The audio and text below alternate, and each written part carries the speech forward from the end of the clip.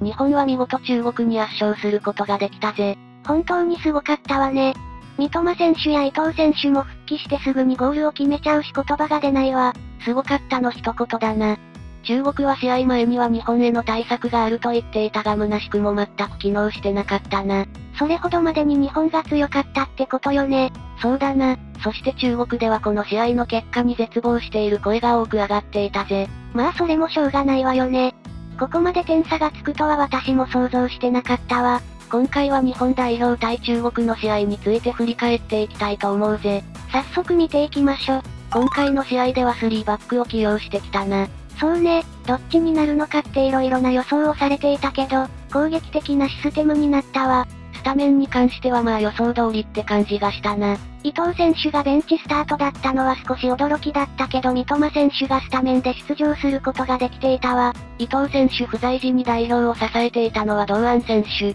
競争原理を働かせるためにも堂安選手がスタメンだったかな。中国代表は4バックを予想していたみたいだね。今まで4バックメインで3バックはオプションだったからな。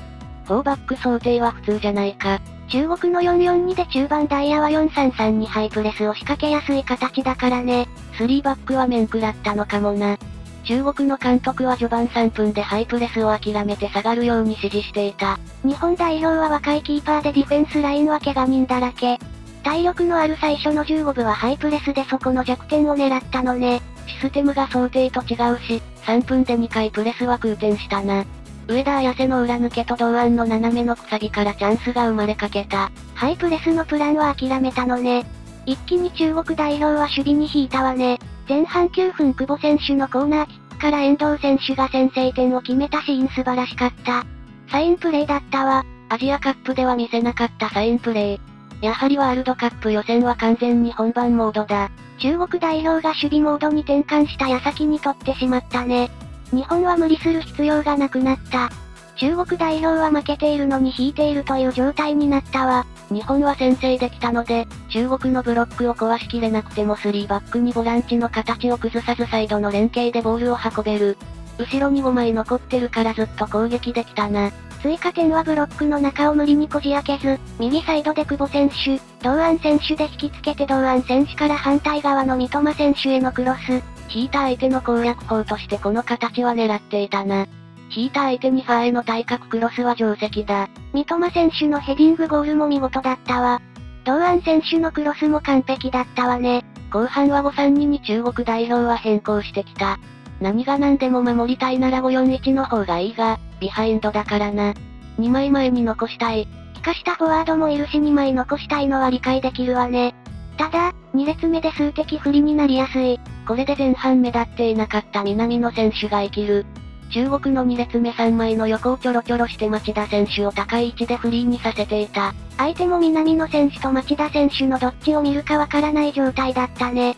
センターバックが出て対処するができるほど5バックの完成度は高くなかったわ。町田選手が相手を引きつけ自分がフリーになったところから相手の股を抜いてからシュート。4点目も同じ構図だよね。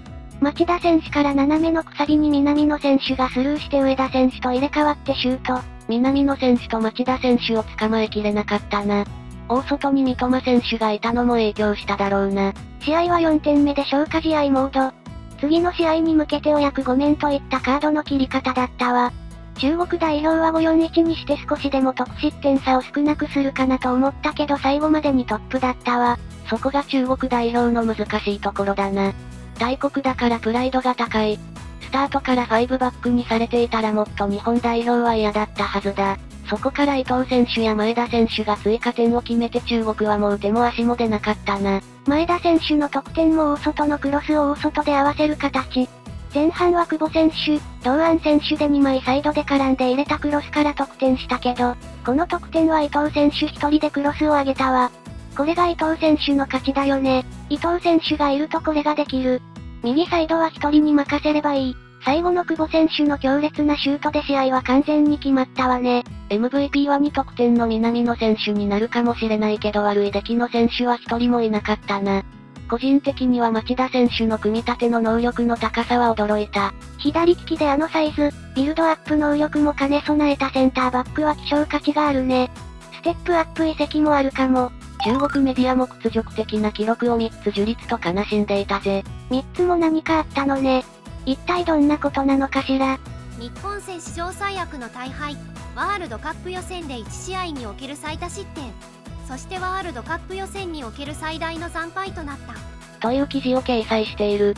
向こうのメディアや SNS を想像するとゾッとするね。選手のメンタルが心配になるわ。ここで今回の試合に対するファンの反応を見ていきたいと思うぜ。今の日本と中国の実力差や勢いの差を考えたら激怒やら恥やら言ったら選手がかわいそうですよ。中国代表は日本が強すぎたということにしてなぜあれだけ守備を固めたのにスタスタになったのかを検証して次の試合に向けて前を向かれたら良いと思います。中国代表には正体不明の帰化選手も数人いたしもっとできると思ったけどね。中国は地上でも空中でも日本に競り負けボールが日本ボールになることが多かったがそこから日本のチャンスになる前にボールを奪いに行くインテンシティが足りない印象。ワールドカップを48カ国にしたのは中国のような国を出す救済策のはず。でもこれじゃあ出れそうにないね。出ても日本より強いチームと当たったら大変な惨事になりうる。そして中国代表フォワードのチャン・ユーニン選手が試合後、インタビューに応じて、中国サッカーと日本サッカーの差は今日のスコアに出ているこの差を真摯に受け止めなければいけないホームではより良いプレーを見せられるように努力するワールドカップ最終予選は長いしまだ始まったばかりだ1試合1試合を大切に戦っていきたい次のホームゲームで勢いを取り戻したいと思うとコメントしているわ。まだ1試合しかやってないし中国からしても希望は残っていると思われるわ。日本代表も次にすぐ試合がある。対象の後は大体難しい試合になるから気をつけることだな。そうね。そして中国代表のイバンコビッチ監督は日本代表に対してやはり守備的に臨んでいたってことを認めているわ。確かに守備を固めていこうと工夫をしたトレーニングもして対策もしていたが結果的にはボールを量産されてしまったここから何を学び修正するかチームと話し合いながらチーム一丸となって準備を進めていきたい今回のチームにはこれまでいなかった12人の新しい選手がいる彼らにとってこの高いインテンシティの試合は良い経験であり経験を積む良い機会になったここから学んでほしいとコメントしているわ。確かに、前半はある程度日本代表の攻撃は防がれていたわ。遠藤選手のコーナーで取れたのが大きかったな。2点目もブロックの外から外だった。後半は5バックに変更していたけど日本代表に問題が起きたとは思えなかったね。解説者の内田篤史が言っていた531の3の脇のスペースを攻略してポケット侵入というお手本通りの3バック崩し、10部程度でシステム変更に対応していたわ。森保監督が選手が主体的に考えて柔軟に対応するチームになってきているな。最高のスタートを切ったけど油断禁物。オーストラリアはホームでバーレーンに負けているわね。そのバーレーンとアウェイでの戦いになる。中東のアウェイは熱いからな。それは大変な試合になりそうね。ここで勝手に連勝だとだいぶ楽に予選を進められそう。環境面で難しいアウェイは次だけだ。インドネシアとも冬だからな。韓国はホームでパレスチナに0-0で引き分けていたね。ワールドカップ予選は簡単にいかないわ。FIFA ランキングで言えばバーレーンが80位、中国が87位パレスチナが96位だからな。韓国はやっちまった。勝って兜の尾を締めよということね。中国は鹿島アントラーズでも活躍したセルジーニョの帰化を急いでいるな。アウェイでは出てくるかもしれないのね。何が起こるかわからないからこそ順調に勝ち点を積んでいってほしいな。あまりにも楽勝ムードになってしまうのも危険だからね。そしたら最後に伊藤選手の試合後のインタビューだけ見ていきたいと思うぜ。伊藤選手は復帰して見事ゴールを決めることができたわね。